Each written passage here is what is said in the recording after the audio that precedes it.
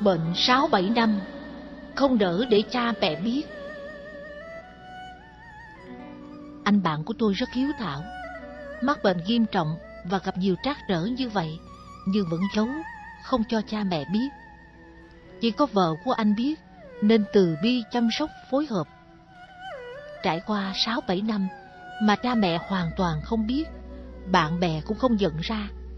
Anh nghĩ cha mẹ tuổi đã cao lại đang sống ở Đài Loan.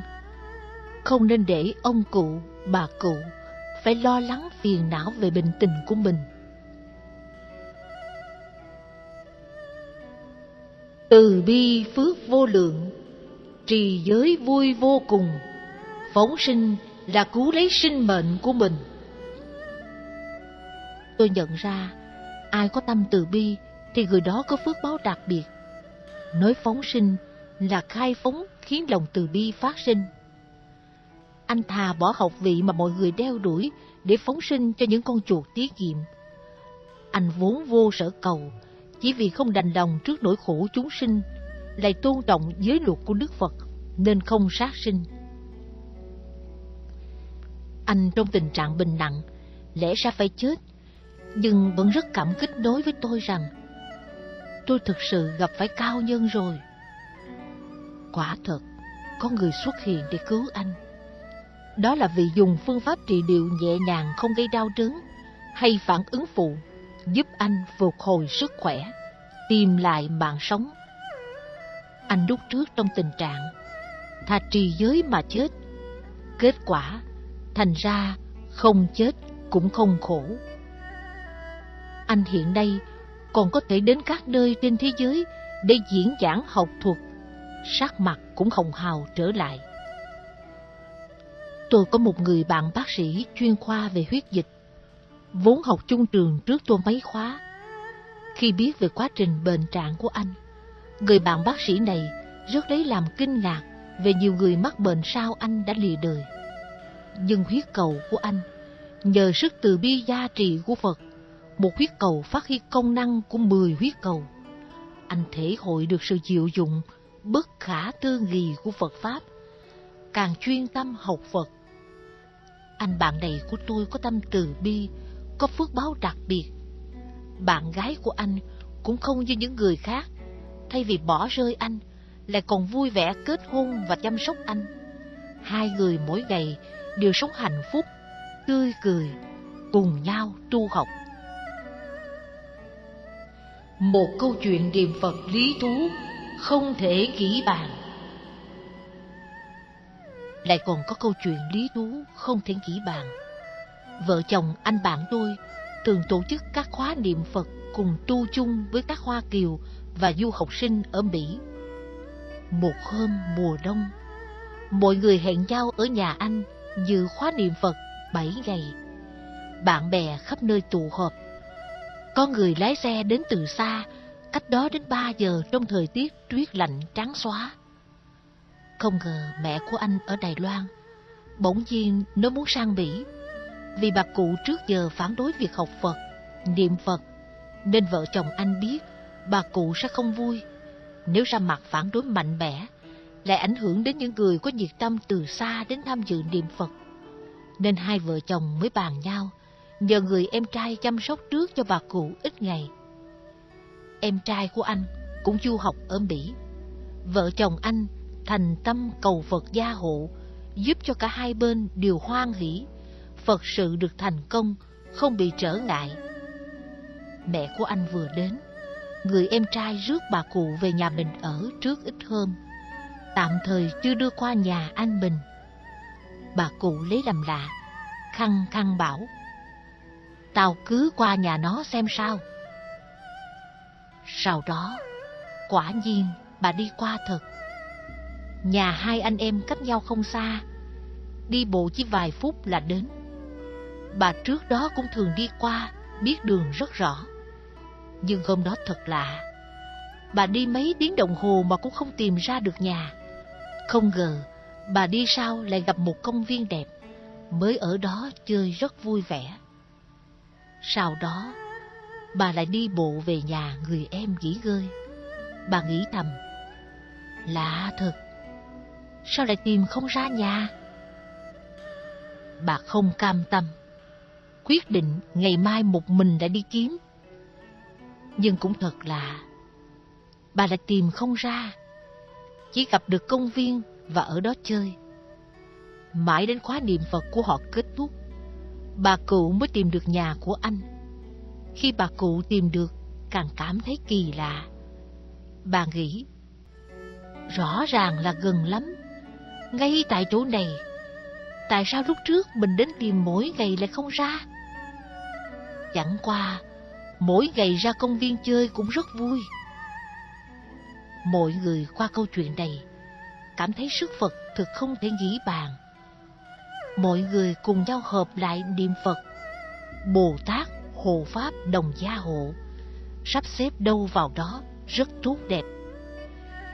Chỉ lo gieo duyên, không cần lo người nhà không chịu học Phật. Mẹ của anh lúc bình thời tuy phản đối niệm Phật, nhưng thường nghe vợ chồng anh nói A-di-đà Phật riết rồi quen tai. Một hôm, gặp động đất, bà ở nhà một mình nên rất sợ, nên luôn biện A-di-đà Phật, di Đà Phật. Vì vậy, chúng ta có thể hiểu, có người hiện giờ không chịu niệm Phật, nhưng chỉ cần nghe qua câu A-di-đà Phật, thì cũng như gieo hạt giống Phật vào trong tâm. Nó bền chắc như kim cang, mãi nằm ở đó. Chỉ cần khi thời tiết nhân duyên chín mùi, thì hạt giống này sẽ nảy nở, ra hoa, kết quả. Chỉ cần nghe qua A-di-đà Phật, lúc nguy hiểm là có thể khởi tác dụng, niệm ra được. Hiện nay, bà cụ mẹ của anh đã từ từ tin Phật, học Phật. Nhân duyên sẽ thay đổi, cho nên các bạn không cần phải lo người nhà không chịu học Phật mà bất mãn, tranh cãi với họ. Nếu như vậy, mình đã không hợp với Phật Pháp rồi. Chỉ cần chúng ta thành tâm, không thoái chuyển, người nhà cũng lần lần được cảm hóa, cảm ứng. Phật và Bồ Tát chẳng phải cũng đã kiên nhẫn đợi chúng ta cả ngàn năm, vạn năm, cho đến vô số kiếp rồi hay sao? Bản thân chúng ta cũng vậy, cứ dần già không chịu giác ngộ. Chúng ta phải thức tỉnh trước mới có thể đánh thức kẻ khác. Ba lại, cảm ơn Phật, ơn cha mẹ, thầy tổ và cảm ơn liên xã. Người bạn này còn có một việc mà khiến tôi vô cùng cảm động. Khi anh còn học trường đại học Trung Hưng ở Đài Loan, vì được nghe lão cư sĩ Lý Bỉnh Nam giảng kinh, nên thường đến điên xã ở Đài Trung, tụng kinh niệm Phật sớm tối. Lúc đó, anh có phát một lời nguyện. Chỉ cần anh còn ở Đài Trung, là mỗi ngày nhất định đến điên xã lễ ba lại để cảm ơn Phật, cảm ơn cha mẹ, cảm ơn sư trưởng, cảm ơn mỗi vị thầy và các huynh đệ ở liên xã.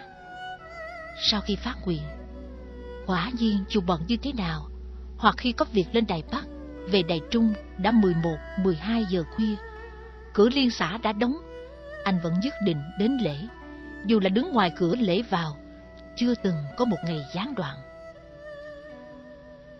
Nửa đêm về nước, không quên nguyện xưa. Ngày mà anh từ Mỹ trở về nước, người nhà ra phi trường đào viên đón. Anh lái xe chở mọi người về quê ở Đài Nam. Khi đi ngang qua Đài Trung đã 11 giờ đêm, anh bỗng cho xe rẽ vào thành phố Đài Trung. Người nhà hỏi, anh định làm gì?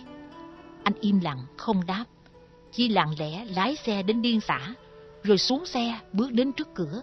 Theo lời nguyện xưa, cung tính đảnh lễ ba lại, mới lên xe tiếp tục lái về quê.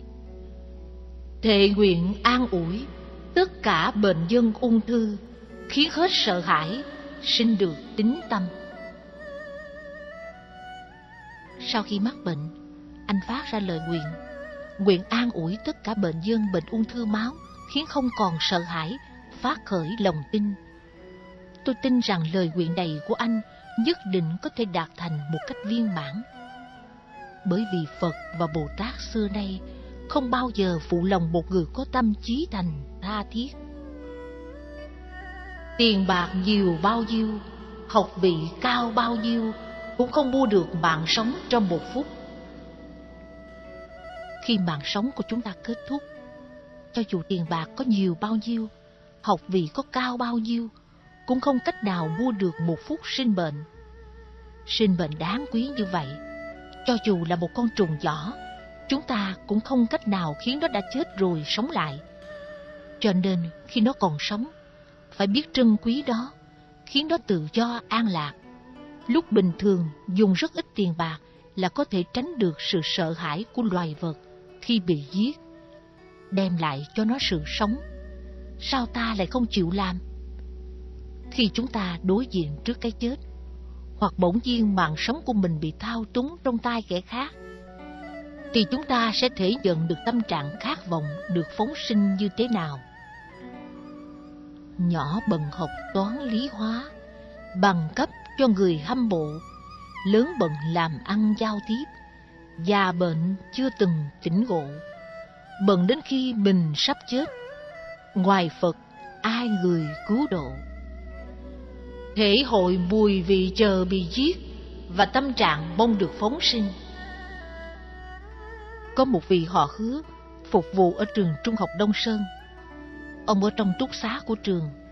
Ban đêm bị ăn cướp lẻn vào, bắt ông trói lại và bịt kính mắt.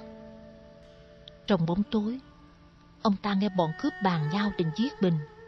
Vì ông đã trông thấy mặt bọn chúng, e rằng sẽ gây bất lợi cho họ sau này. Bọn cướp tay cầm hung khí, vì họ hứa lại bị trối gô. Ông thuộc lại việc đó như sao?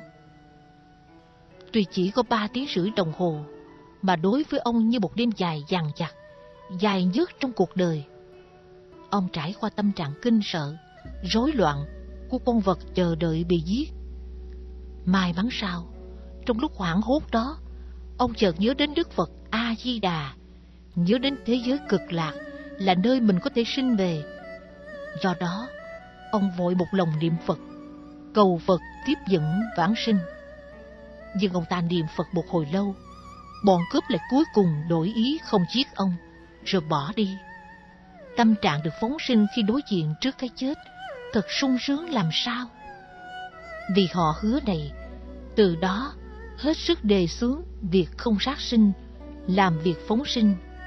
Ông cảm nhận một cách sâu sắc, giảm một phần nghiệp sát là thêm một phần khí chất từ bi an lành, cũng như công đức niệm Phật thực không thể dĩ bàn, có thể khích lệ người phát tâm từ bi và thay đổi nhân quả xấu ác cả hai bên. Giả như vì danh lợi phá giới, đối diện cái chết, học vị hỏi có tác dụng gì? Giả sử anh bạn học của tôi lúc đó, vì muốn có được học vị thạc sĩ mà che lấp mất từ bi, phá giới giết chuột để làm thí nghiệm. E rằng sau đó sẽ không có được nhân duyên thù thắng được cứu chữa khỏi bệnh. Chúng ta thử suy nghĩ, nếu bệnh ung thư máu của anh phát triển giống như những bệnh nhân bình thường khác, đối diện trước cái chết, học vị cao học, tiến sĩ của anh, hỏi có tác dụng gì? Không đỡ chúng sinh khổ, không đỡ thánh giáo suy, do nhân duyên như vậy, phát khởi tâm đại bi. Sức mạnh của tâm hoan hỷ Tôi từng gặp qua một bệnh nhân ung thư chỉ là một bé gái học sinh trung học cấp 2. Em sinh ra không bao lâu, liền bị phát hiện mắc bệnh ung thư. Ung thư của em ở vùng não và tủy sống. Thuở bé em đã trị liệu qua, mãi đến học trung học cấp 2 lại tái phát. Em trở lại bệnh viện, điều trị một giai đoạn, tóc trên đầu rụng sạch, bạch huyết cầu xuống rất thấp, đến nỗi phải nằm viện theo dõi và cách ly với mọi người. Lúc nào em cũng phải mang khẩu trang để tránh nhiễm bệnh. Đó là lúc em gần sắp tốt nghiệp cấp 2. Em tha thiết muốn đi dự lễ tốt nghiệp. Nhưng vì bác sĩ điều trị cho em lại không đồng ý, vì thấy bệnh tình có thể nguy hiểm đến tính mạng bất cứ lúc nào. Ông không muốn vì việc tốt nghiệp mà em phải làm một việc quá mạo hiểm như vậy. tiếng lòng của em bé. Hôm đó lúc tôi đến thăm, em đang ngồi trên giường mà rơi nước mắt, hết sức thất vọng. Em nói với tôi, em sống mà không biết phải làm gì. Mỗi ngày nằm không trong phòng bệnh để chích thuốc, truyền dịch.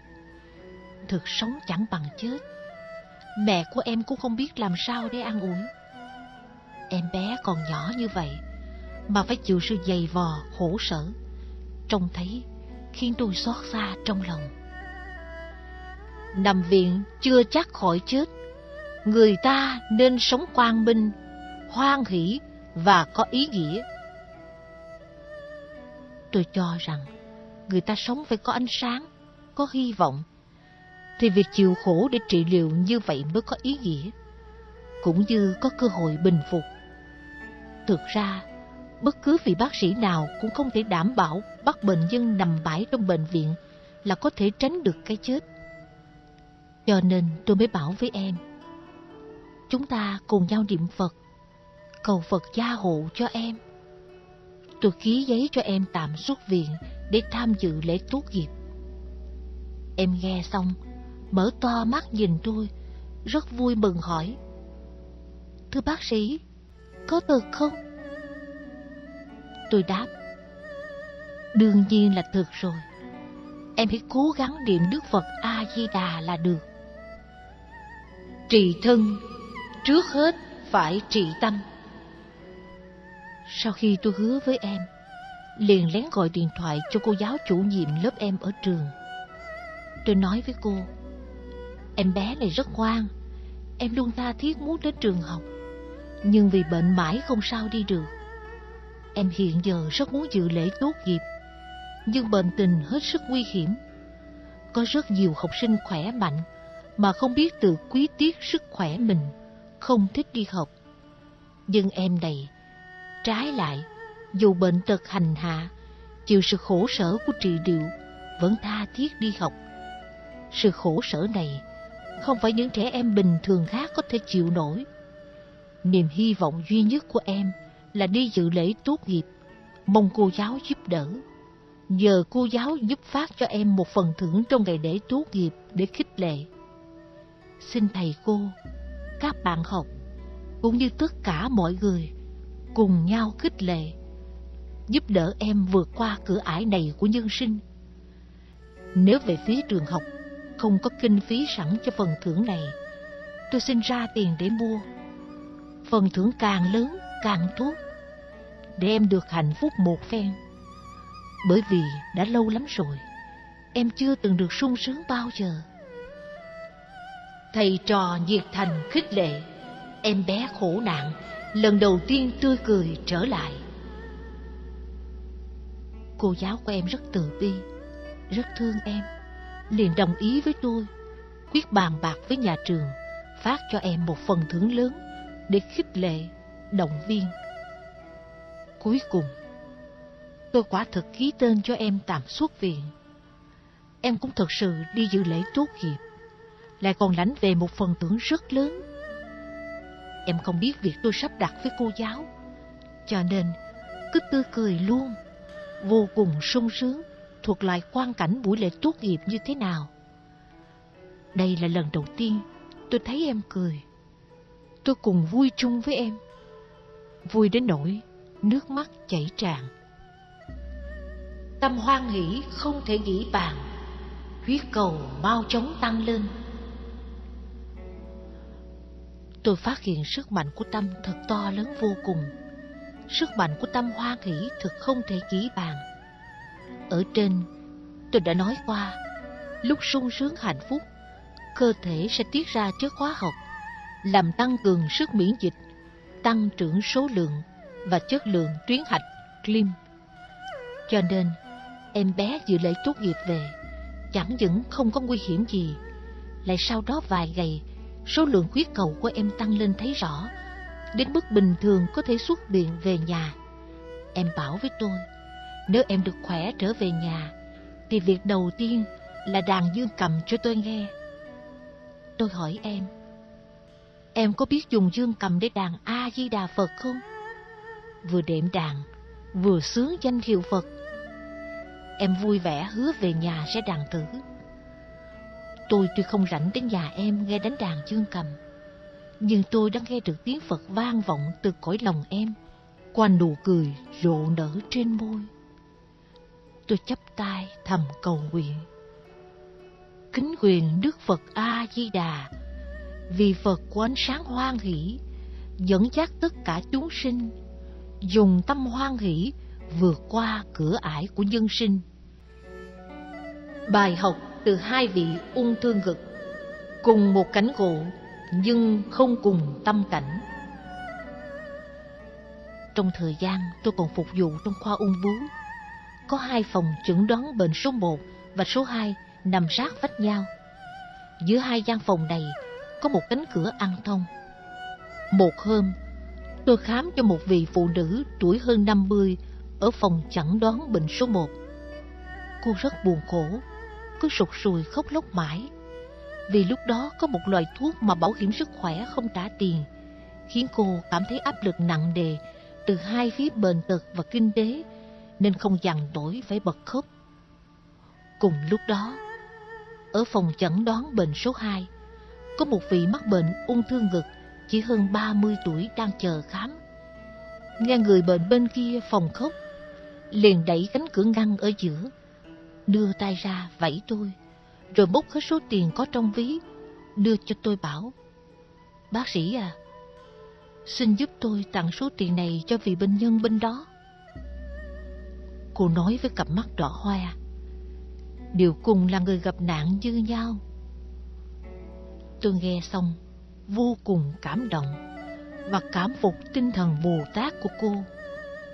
Vì theo tôi được biết, hoàn cảnh của vị bệnh nhân trẻ tuổi này thực ra còn khó khăn hơn các vị kia. Đứa con còn trong tả đang đợi cô cho bú. Chồng cô đồng lương cũng chẳng cá gì, lại không có bảo hiểm sức khỏe. Cô từng giải phẫu ở bệnh viện khác. Có thể nói, có bao nhiêu dành dụm từ trước đến giờ đều đã xài hết. Cho nên, khi cô được bác sĩ ngoại khoa ở bệnh viện khác giới thiệu đến đây để trị liệu bằng phóng xạ. Cô từng vì lý do kinh tế mà dự định buông xuôi mạng sống của mình. Ra khỏi sự bi ai của chính mình, phát huy ánh sáng sinh mệnh. Cô nói với tôi, hôm cô ta đến bệnh viện này khám lần đầu tiên, vừa đúng đọc được một câu mà chúng tôi viết trên bảng. Giả sử ngày mai tận thế, đêm nay sen vẫn gieo trồng. Đọc được câu trên, cô như bừng tỉnh, khởi lòng can đảm, quyết tiếp tục sống, mới bường tiền bên nhà mẹ để trị bệnh. Cô bảo, mạng sống quả thật là vô thường, đầy chảy những khảo nghiệm đau thương. Tôi tuy không có năng lực gì, nhưng dù sao cũng có tấm lòng, hy vọng đem hết sức mọn của mình ra, giúp những người cùng cảnh ngộ đang chịu khổ đau có thể lìa khổ được vui. Tôi nghe lời nói này của cô, trong lòng vô cùng cảm động. Đồng là mắc bệnh ung thư cực, có người vì mình mà buồn thương khóc lóc, có người bước ra vũng tối buồn thương của bản thân để lao nước mắt cho người khác, phát huy ánh sáng của sinh mệnh. Sống một ngày, trồng sen một ngày, tự nhiên cả ao đều thơm ngát. Chúng ta tự nghĩ, việc trị liệu bệnh ung thư phải trải qua bao nhiêu khổ ải. Nếu đem mạng sống mà mình đổi lấy trăm cay nghìn đắng, rồi buồn thương, khóc lóc, chẳng phải đáng tiếc lắm sao? Tại sao chúng ta không cùng nhau trồng sen thơm thanh tịnh Nếu biết sống một ngày là trồng sen một ngày, tự nhiên đầy ao sẽ nở hoa thơm ngát. Chúng ta tuy không có khả năng cống hiến lớn, nhưng dù một nụ cười cũng gọi là bố thí rồi. Nếu trong lòng có thể sinh khởi một niệm từ bi, thì cho dù tật bệnh, nghèo khó đối với chúng ta cũng không chướng ngại. Chỉ cần một niệm từ bi khởi, bệnh nghèo cũng chẳng có hề chi không để bị khổ vì mũi tên thứ hai. Đức Phật đối với đệ tử như thầy giáo đối với học trò. Nhưng nội dung Đức Phật dạy đệ tử không phải là những môn như toán học, lịch sử, mà là phương pháp làm người, xử thế. Cho nên, chúng ta có thể xem Đức Phật là vị thầy dạy cách làm người. Đức Phật vì khảo nghiệm đệ tử nên cũng có lúc đưa ra một số đề mục ứng dụng xem mức độ thâm hiểu đạo lý của đệ tử như thế nào. Một lần Đức Phật hỏi các đệ tử, Người chưa hiểu Phật Pháp sẽ gặp chuyện không vui hay đau khổ. Người hiểu Phật Pháp cũng gặp chuyện không vui hay đau khổ. Vậy người không hiểu Phật Pháp và người hiểu Phật Pháp khác nhau chỗ nào? Các đệ tử mới thưa với Đức Phật, Kính mong Đức Thế Tôn hãy làm con mắt sáng, chỉ dạy cho chúng con. Đức Phật dạy, Người chưa hiểu được Phật Pháp, khi gặp phải cảnh ngộ khổ đau, giống như trúng một mũi tên. Sau khi trúng mũi tên này, vì chấp trước vào mũi tên, tâm họ càng trở nên mê hoặc, sợ hãi và đau khổ. Giống như người đã trúng mũi tên thứ nhất, rồi lại trúng thêm mũi tên thứ hai, chỉ càng làm họ thêm đau khổ. Nhưng người hiểu Phật Pháp, nếu gặp phải việc khổ đau, sẽ bình tĩnh quan sát khổ đau để dứt trừ khổ đau. Như người sau khi trúng một mũi tên, không để cho trúng thêm mũi tên thứ hai, thậm chí có thể nhổ bỏ mũi tên thứ nhất. Đức Phật dạy chúng ta, thân đã khổ, đừng để tâm cũng khổ. Đã khổ vì mũi tên thứ nhất, đừng khổ thêm vì mũi tên thứ hai. Hưởng vui mà mê lầm, cũng như trúng thêm mũi tên thứ hai. Về việc vui, Đức Phật cũng dạy giống như vậy. Ví dụ có người trông thấy một đóa hoa đẹp, người hiểu Phật Pháp cũng có đồng một cảm giác vui như người không hiểu Phật Pháp. Nhưng họ không mê lầm đánh mất chánh niệm. Nếu trong cái vui mà mình mê lầm đánh mất chánh niệm, thì đã trúng mũi tên thứ hai, đem lại đau khổ. Cho nên Đức Phật dạy, người hiểu Phật Pháp không nên khổ vì mũi tên thứ hai. Học Phật là học trí tuệ để xử lý khổ đau. Đừng trách móc, đừng tự tìm phiền não, vì như vậy là trúng tên liên tiếp. Chúng ta là người đang sống trong khổ đau, nên chính chắn thể nhận sự giáo hóa của Đức Phật.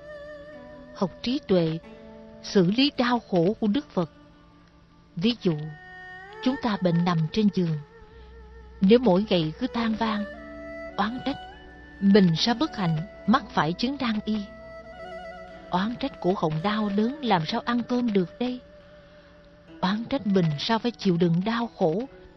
Xét thấy cả đời đâu có làm điều gì xấu, mà ông trời bắt mình phải chịu như vậy.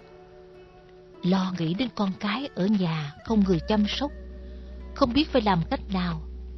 Lo lắng bệnh của mình có bình phục hay không. Cứ mãi phiền não, lo lắng như vậy, nên ban ngày ăn cơm không trôi, ban đêm lại thao thức không ngủ, ngay cả nằm mơ cũng giăng mày sầu khổ. Chúng ta thử nghĩ, mình như vậy, hỏi có ích lợi gì? Chúng ta mắc bệnh, đau đớn trên mặt thể xác, giống như bị trúng một mũi tên thứ nhất. Giá như lại tự mình tìm phiền não, hết lo cái này, lại lo cái kia, hết oán điều này, lại trách điều nọ, thì khác nào lại tiếp tục trúng thêm mũi tên thứ hai, thứ ba, cho đến trúng liên tiếp nhiều mũi tên khác nữa. Chỉ càng làm chúng ta đau khổ thêm mà thôi.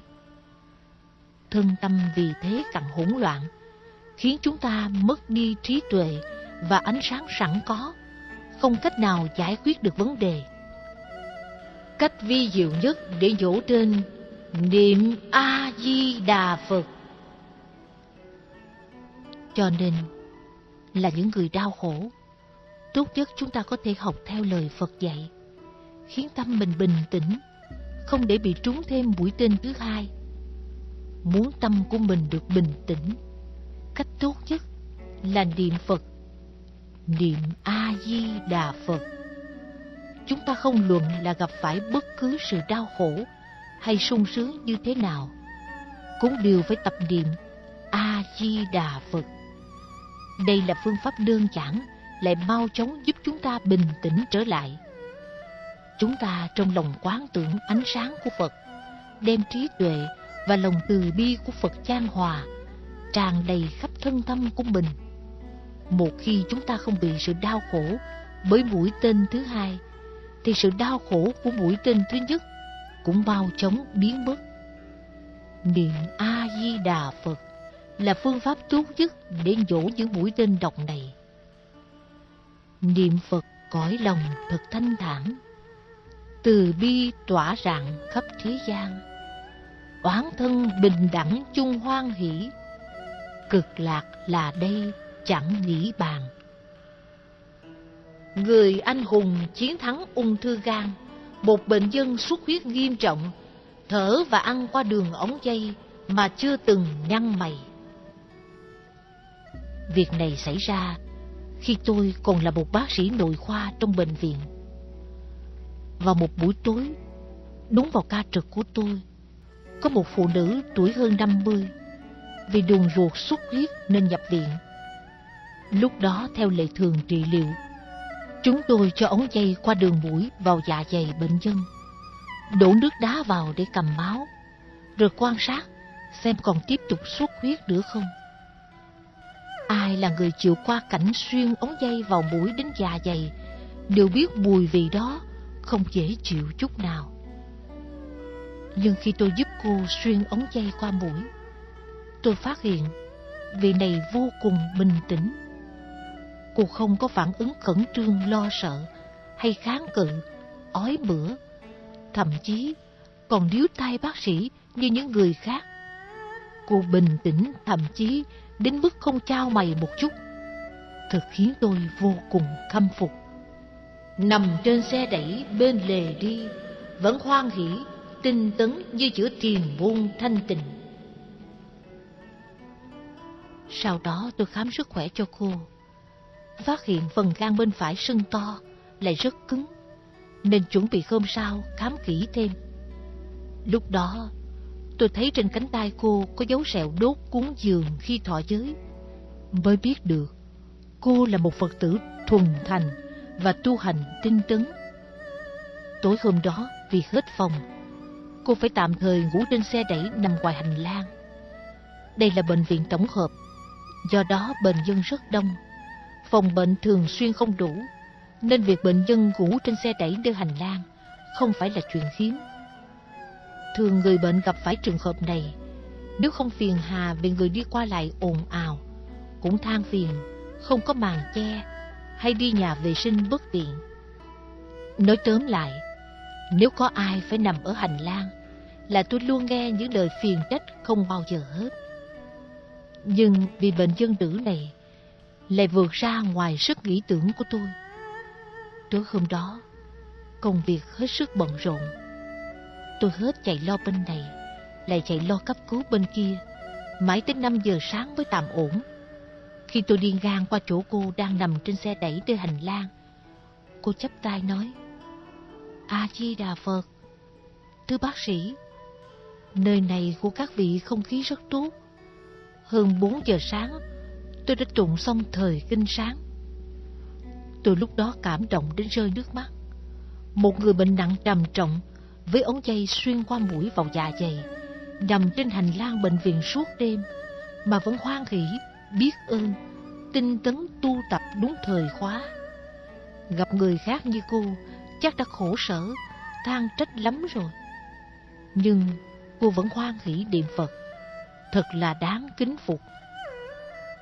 Đối diện bệnh ung thư gan, vẫn từ bi tự tại nhưng việc tôi sắp kể ra đây về cô lại còn đáng khâm phục hơn nhiều. Kết quả siêu âm hôm sau cho biết gan của cô có một khối u. Khi làm sinh tiết mới xác định là ung thư gan. Bởi vì cô không cảm thấy đau nên mới không phát hiện. Lúc đó tôi nghĩ cô là người hiểu Phật Pháp, lại có công phu tu hành. Nên mới định nói thật bệnh tình cho cô hay. Song thực ra tôi cũng lo rằng, giả như cô nghĩ quẩn, chịu đựng không đổi, thì biết làm sao đây? Bởi vì việc sống chết không phải là điều đơn giản. Nhưng suy nghĩ tới lui, cho rằng một người học Phật chân chánh cần phải đối diện với thực tế. Cô cần biết để có sự chuẩn bị tâm lý, như vậy sẽ thuốc hương. Nên cuối cùng tôi đã cho cô biết. Không ngờ cô rất thản nhiên, trả lời tôi như đã chuẩn bị sẵn. Tôi chỉ cần sống một ngày là làm một ít việc cho chúng sanh. Nếu ngày đó đến, tôi sẵn sàng ra đi. Cả đời tôi chỉ đợi một ngày này, ngày Đức Phật A-di-đà đến tiếp dẫn tôi. Nghe xong câu nói này, tôi cảm động không thốt ra lời. Trong lòng thầm hổ thẹn, tôi xét lại chính mình. Không biết mình có được tấm lòng vĩ đại và thái độ thanh thản tự tại như cô không?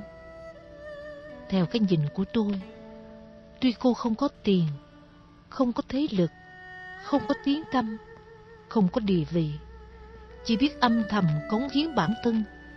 Nhưng cô thật đáng tôn kính biết bao. Lòng kính ngưỡng của tôi đối với cô như kính ngưỡng một vị Bồ Tát. Lễ Phật bình thường, nhiệt thành phục vụ. Lúc đó, một vị giáo sư bác sĩ trường đại học Đài Bắc là một cuộc tiểu phẫu cho cô, chuẩn bị cột lại mạch máu ở khối u trong gan. Nhưng vì mạch máu của cô quá cong vẹo, cho nên lần phẫu thuật đó thất bại. Cô xuất viện về nhà, bác sĩ cho người nhà biết cô sống không bao lâu. Mấy tháng đầu, tôi thường xuyên liên lạc với cô, biết rằng cô vẫn tham dự lễ Phật và làm việc từ thiện bình thường. Một thời gian sau, tôi không còn liên lạc với cô nữa. Một là vì công việc bận rộn. Hai là vì mỗi lần định gọi điện hỏi thăm cô, trong lòng tôi luôn có một cảm giác bùi ngùi khó tả. Tôi biết rằng nếu cô không còn có mặt trên cuộc đời này, thì cô đã ở bên Đức Phật A-di-đà để nghe Pháp, tu hành. Sau này lợi ích cho chúng sinh, nhưng tôi vẫn luôn nuối tiếc cô. Tôi tiếc vì thế giới khổ đau của chúng ta thực sự đang cần những con người như cô để làm gương, để giúp đỡ. Quên bình vì người, thân thể trái lại càng khỏe mạnh vượt quá bình thường. Thời gian thấm thoát trôi qua, đã hơn nhiều tháng so với thời gian mà bác sĩ cho biết theo thống kê y học, bệnh ung thư nghiêm trọng như cô phải chấm dứt sinh mệnh. Một hôm, tôi đến ngôi chùa mà cô vẫn thường xuyên đi lễ để hỏi thăm một vị thầy trong đó về tình trạng sức khỏe của cô. Thú thật, lúc đó tâm trạng tôi rất lo lắng hồi hộp vì e rằng phải nghe một tin xấu phủ vàng. Nhưng không ngờ, tôi được cho biết rằng sức khỏe của cô rất tốt, vẫn thường giúp đỡ người khác học Phật và phục vụ việc chăm sóc, an ủi cho những người già cả cô độc hay tật quyền đau bệnh. Tôi nghe xong, ngẩng đầu lên, trông thấy tôn tượng Đức Phật trong đại điện, bỗng nhiên tỉnh ngộ. Tỉnh ngộ tinh thần quên mình vì người của chư Phật, Bồ Tát. Ánh mắt Đức Phật nhìn tôi như mỉm cười, lại dường như nước mắt lưng tròng. Không nên lo lắng, còn sống được bao lâu, chỉ cần sống bao lâu, sống xứng đáng bấy lâu. Lúc đó, trong lòng tôi vô cùng cảm động. Bạn nghĩ xem, có biết bao nhiêu người bệnh, mỗi ngày đều hoảng hốt, lo lắng, không biết mình sẽ sống được bao lâu. Nhưng theo tôi thấy, vấn đề không phải là sống được bao lâu, mà là sống như thế nào, có xứng đáng hay không, có ý nghĩa hay không. Nhiều người chỉ nghĩ cho riêng mình, không biết quan tâm đến người khác, cũng không biết trân trọng sinh mệnh hữu hạn của mình để cống hiến, để phục vụ, mà chỉ suy nghĩ những điều tiêu cực. Cuộc sống như vậy, dù sống một trăm năm, sống hai trăm năm, cũng là uổng phí vô ích. Vì như vậy, sống một ngày là phiền não một ngày, khổ đau một ngày. Thậm chí, sống một ngày là phiền não khổ đau đến trăm ngày. Vậy sống càng lâu, phiền não khổ đau càng nhiều, như phải ăn một bát cơm khó ăn, nuốt không vô, mà lại không ăn không được. Bát cơm đó càng lớn chừng nào, ta lại càng phiền não, khổ đau chừng nấy. Tôi cho rằng người như vậy, phần lớn không phải chết vì bệnh, mà chết vì sợ bệnh, chết vì phiền não về bệnh. Người như cô, Phật và Bồ Tát đã sớm sắp xếp đâu vào đấy cả rồi. Tôi cũng thường khi gặp phải những con người vĩ đại như vị phụ nữ này. Họ không lo lắng cho mình, chỉ nghĩ đến người khác, phụng hiến cho lợi ích chúng sinh. Kết quả, bản thân họ lại trở nên khỏe mạnh, tốt đẹp.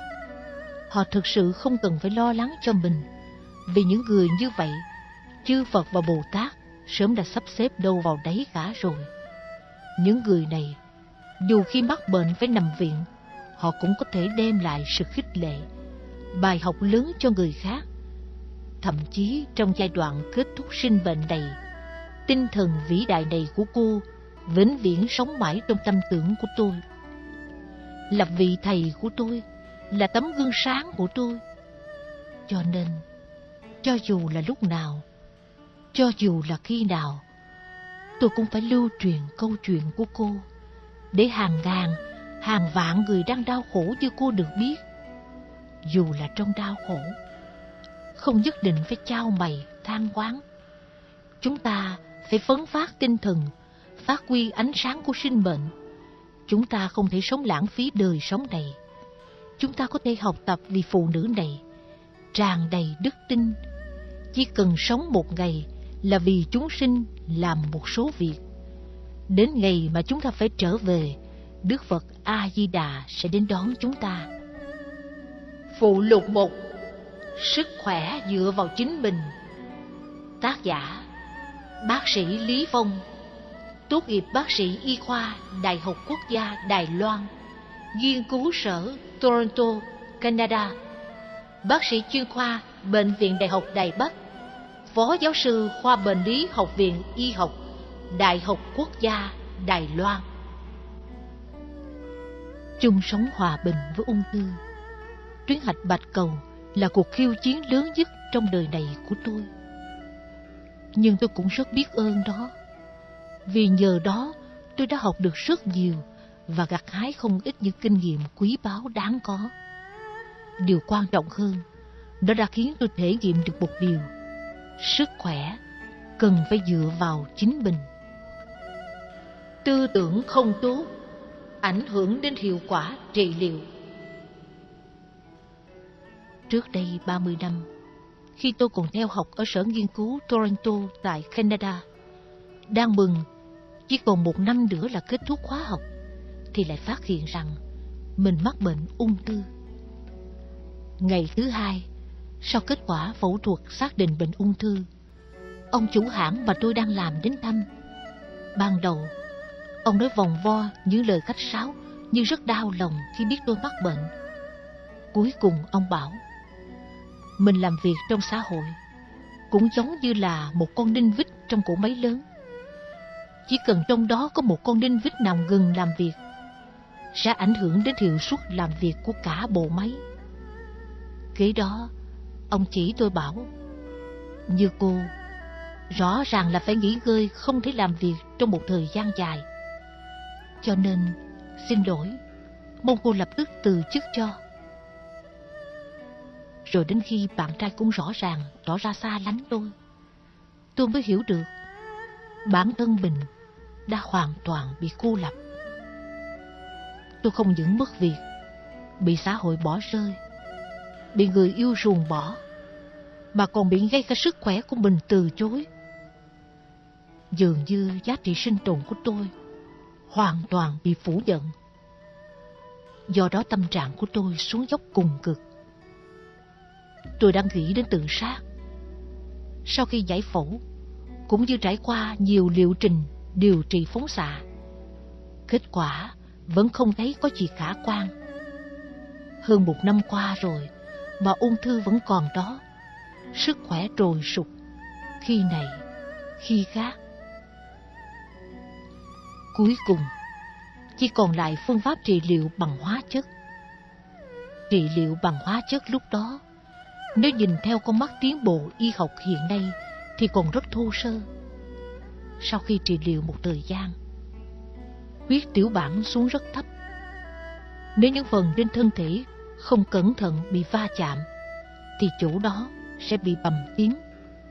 Còn bên trong xuất huyết quá nhiều thì có nguy cơ mất mạng. Cho nên, tôi mới bàn với bác sĩ chủ trị xem có thể tạm ngưng việc trị liệu hay không. Nhưng bác sĩ lại không đồng ý. Trong tình cảnh, uống thuốc bị xuất huyết cũng chết, không uống thuốc bị bệnh cũng chết. Là một bệnh nhân như tôi, quả thực không biết phải làm sao.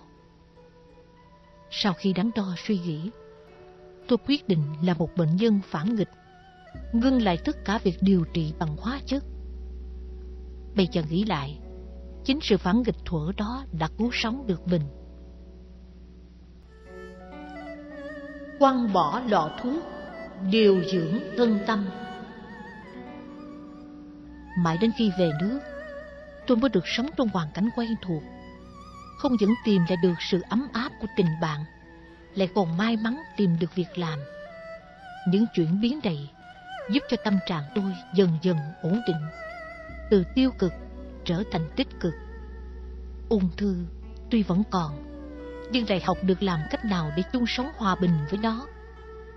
Bệnh tuy không tái phát, nhưng do sức khỏe rất yếu, tác dụng phụ sau khi điều trị cứ xảy ra luôn. Hết nhập viện, lại xuất viện. Bụng tôi cũng trở thành ống thuốc với dung tích lớn. Mãi đến mười mấy năm trước đây, vì bị sốt cao suốt hai tuần không hạ, mới nhập viện ở Bệnh viện Đại học Đài Loan. Sau nhiều lần kiểm tra sức khỏe và hội chẩn, bác sĩ tuyên bố tôi bị lao phổi ở mức độ thứ ba. Lúc đó, tôi đương nhiên rất buồn khổ, nhưng cũng chỉ biết cam chịu trước số bệnh, theo toa bác sĩ uống thuốc. Sau khi theo toa uống thuốc ba ngày, tôi lấy máu xét nghiệm, lại phát hiện vì uống thuốc kháng sinh chống vi trùng lao mà bị viêm gan do trúng độc. Do đó, tôi tự nhiên làm trái lời khuyên của bác sĩ, ngừng uống thuốc. Từ đó, mỗi ngày nếu không cũ, tôi lại ngồi tĩnh tọa. Một tháng sau, xét nghiệm lại tuyến phóng xạ ở ngực, thì thấy hạch lao ở phổi không còn nữa. Việc phát hiện này khiến tôi hiểu hạch lao phổi tháng trước đúng là do chẩn đoán sai. Bởi vì hạch lao phổi không thể nào không uống thuốc mà trong vòng một tháng lại bình phục. Điều này khiến tôi không ngừng suy nghĩ. Trước đây, mình uống thuốc quan uổng, bị tác dụng phụ, rước lấy một thân tật bệnh. Sau này, không biết tôi phải chết vì bệnh ung thư hay là chết vì một căn bệnh nào khác do uống thuốc mà ra. Lần nhập viện này cũng giúp tôi có quyết tâm từ đây không dựa vào thuốc men. Quả nhiên từ đó về sau, tôi không hề uống bất cứ một viên thuốc nào, kể cả vitamin. Niềm tin, sức khỏe dựa vào chính mình, phương pháp, tự mình soi xét lại. Lần nhập viện này, tôi đã chứng kiến được mức hạn chế của Tây Y và bắt đầu suy nghĩ kỹ về phương pháp trị liệu. Ngoài phương pháp trị liệu bằng thuốc men ra, tôi đã đọc không ít sách y học khác. Cũng tìm hiểu, thậm chí thử qua không ít cách trị liệu dân gian. Nhưng cuối cùng phát hiện phương pháp căn bản nhất là dựa vào chính mình. Dựa vào mình để điều chỉnh lại cho đúng những quan điểm sai lầm, cũng như thói quen sinh hoạt và ăn uống. Trải qua sự cố gắng hơn mười mấy năm, tôi phát hiện cách suy nghĩ của mình là đúng đắn. Từ đó về sau, tôi không còn nhập viện nữa. Gần đây, ngay cảm mạo thông thường cũng ít khi xảy ra. Điều chỉnh quan niệm lại cho đúng, thực ra chính là tự suy xét lại mình. Tôi đang bình thường như thế này, tại sao lại mắc bệnh ung thư? Rất nhiều người khi nghe bác sĩ tuyên bố mình mắc bệnh, đã ngơ ngác như vô tội và bảo như vậy. Họ hy vọng dùng phương thức bên ngoài để can thiệp, như mổ, dùng độc chất để giết hay tiêu diệt những tế bào ung thư này. Nhưng chúng ta tự xét lại, bệnh tật có phải không có lý do gì mà tự nhiên sinh ra không? Trên đời tuyệt đối không có chuyện đang bình thường, đột nhiên sinh ra bệnh. Lý bệnh cảm làm ví dụ. Nếu bắt bệnh nhân phải tự suy xét lại mình, tìm thử nguyên nhân bệnh cảm từ đâu.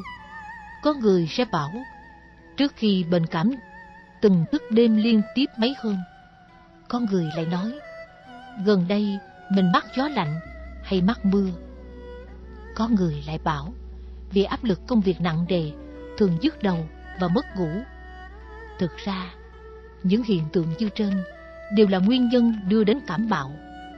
Nói cách khác, nếu người bệnh có đủ sức cảnh giác và mẫn cảm, tự nhiên sẽ làm được việc phòng bệnh hơn chữa bệnh. Lấy kinh nghiệm bản thân tôi nói, lúc còn học ở Sở Nghiên cứu Canada, sở dĩ bị ung thư là có nguyên nhân của nó. Trước hết, tôi vốn sợ lạnh, lại chọn đến Canada học. Căn bản đã trái với nguyên tắc sức khỏe. Kế nữa, vì vấn đề sinh kế, phải vừa học vừa làm, thường vì tiết kiệm ít tiền gửi về gia đình. Bữa trưa chỉ ăn một cái bánh hamburger kẹp phô mai, đến tối mới nấu mì với rau đậu và cánh gà, cánh vịt đông lạnh bán ở siêu thị. Sau này tôi mới rõ, thì ra mình lâu nay ăn vào những thứ có hại cho sức khỏe đáng sợ như vậy. Lại thêm ông chủ hãng là người Do Thái, đối với nhân viên nghiêm khắc vô cùng. Tất cả những áp lực đó đè nặng lên thân và tâm. Mức độ tổn hại lâu ngày chày tháng như thế nào, có thể suy ra để biết.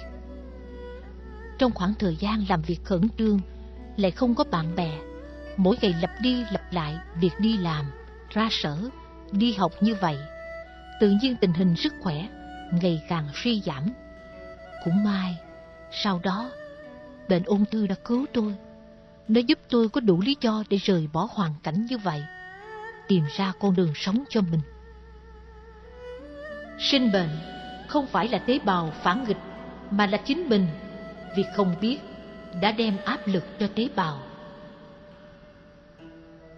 Thực ra, thân thể mắc bệnh không phải là do tế bào phản nghịch, làm trái lại mệnh lệnh của chủ nhân, mà vì chủ nhân cứ mãi đem áp lực cho tế bào, không biết rằng đã vượt quá giới hạn chịu đựng của nó.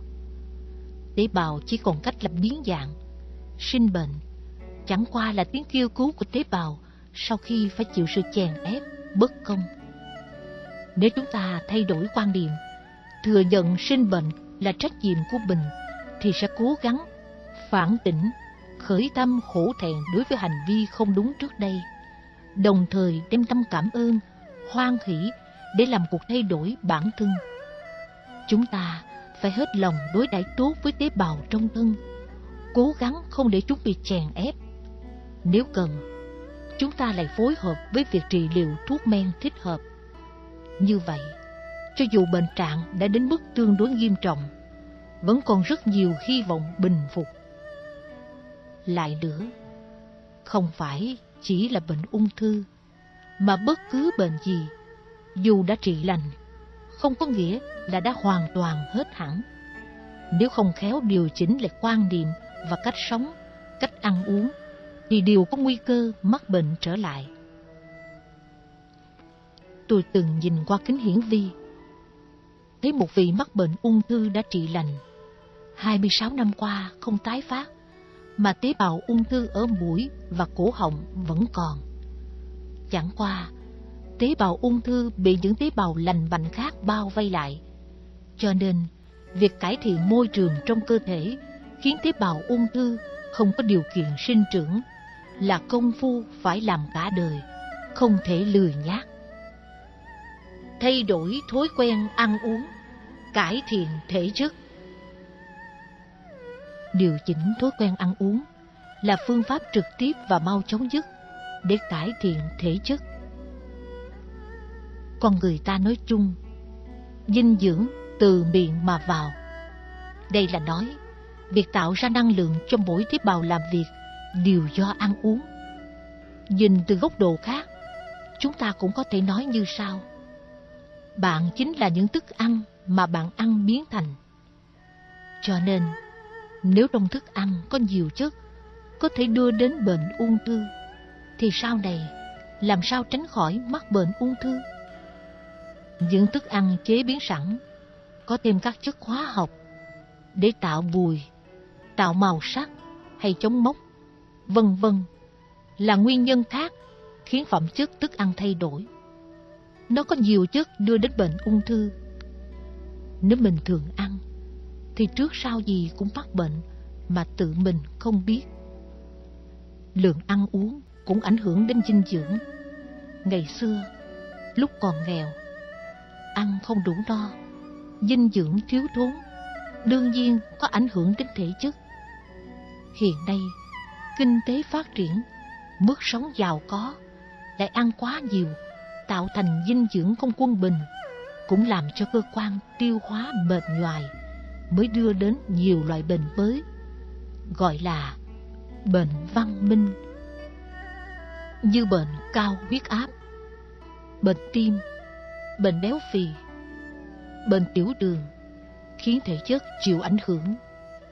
Trước tình hình đó, muốn thay đổi thói quen ăn uống, trên nguyên tắc là gìn giữ mức quân bình, dinh dưỡng, không ăn những thức ăn có chất hóa học để tạo bùi, tạo màu sắc hay chống mốc, không ăn những thức ăn hư, không ăn các loại thịt và nên ăn nhiều rau trái. Năm loại ung thư cần phải ăn chay. Lấy bản thân tôi làm điển hình.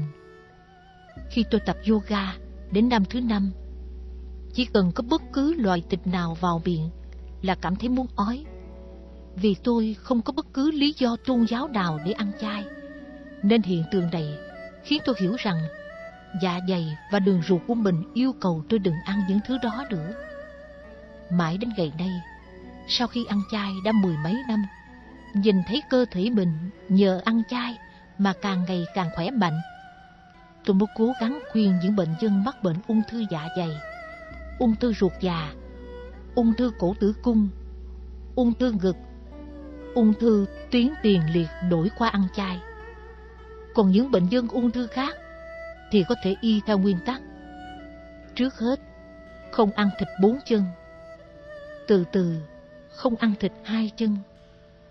Cuối cùng, không ăn thịt không chân.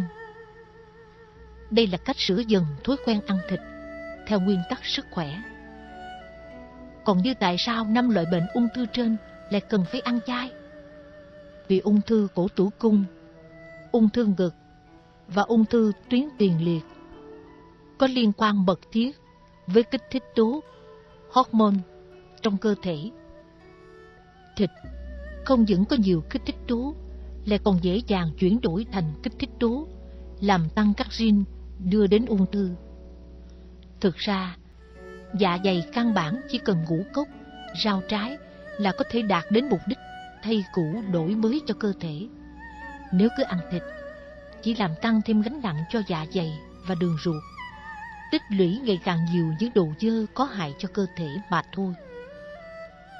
Ăn uống giống như dùng thuốc, trước phải tìm hiểu thể chất và tình trạng bệnh của mình. Có người hỏi, có phải ai cũng đều thích hợp với việc ăn uống những thức còn tươi sống, chưa qua nấu nướng? Ăn chay có thể ăn hành tỏi không? Theo kinh nghiệm của tôi, không phải ai cũng thích hợp với việc ăn toàn đồ sống. Lại lửa, nói một cách nghiêm khắc, thể chất của người Đông Phương phần lớn đều không thích hợp với việc ăn sống hoàn toàn, mà cần phải phối hợp với việc ăn những ngũ cốc tự nhiên nấu chín. Nếu nhất định muốn ăn sống, tốt nhất trước hết phải nhờ thầy thuốc đông y bắt mạch, kiểm tra đánh giá tổng quát thể chất của ta ra sao, có thích hợp hay không. Còn như vấn đề ăn hành hay tỏi thì đối với tình trạng thân thể khỏe mạnh, tuyệt đối không cần ăn tỏi để giết vi khuẩn. Còn ăn hành thì sẽ ảnh hưởng đến việc tiết ra chất kích thích tố của thân thể, khiến trạng thái tâm lý thay đổi. Đối với sức khỏe, chưa chắc đã có lợi. Ăn chay không cần sữa hay trứng, vẫn đầy đủ sức khỏe. Lại có người hỏi, ăn chay có cần phải uống sữa hay ăn trứng không?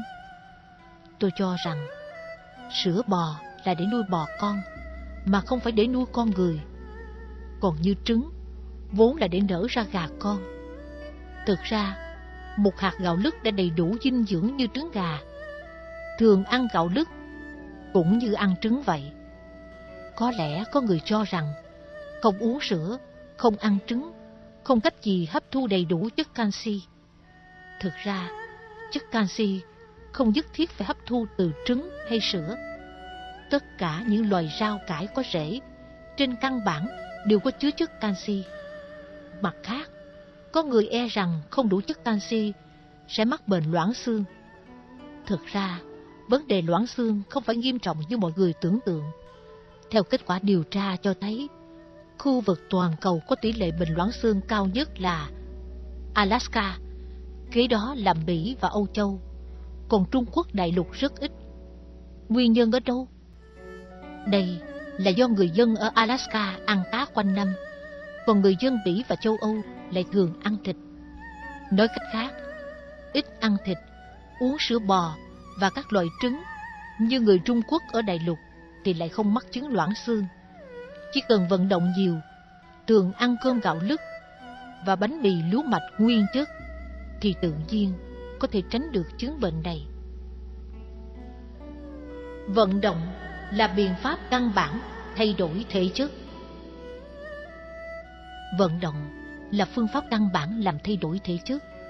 Vì thân thể mỗi người vốn có sẵn năng lực đề kháng trước độc và ung thư bên ngoài xâm nhập vào. Có điều, nếu hoàn cảnh trong thân và điều kiện bên ngoài có quá nhiều yếu tố có hại, làm chướng ngại năng lực miễn dịch này, thì tật bệnh và ung thư mới xảy ra. Còn vận động sẽ làm gia tăng sự tuần hoàn của huyết dịch, đem nhiều dưỡng khí và chất dinh dưỡng hơn đến các tế bào trong cơ thể. Nói cách khác, vận động khiến cho tế bào tăng thêm sức sống.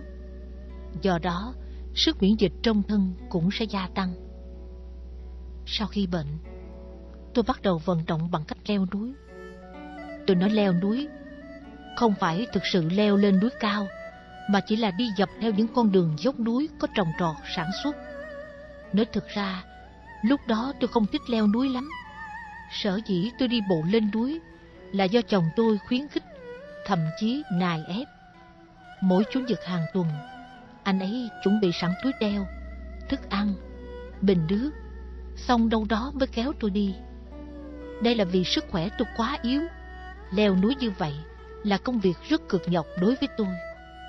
Sau này khi nhắc lại, anh ấy bảo giai đoạn đó tôi lúc nào cũng sợ leo núi. Có mặt trời thì ngại nắng nóng. Lúc trời mát thì ngại gió lạnh, còn trời mưa thì lại sợ ướt át.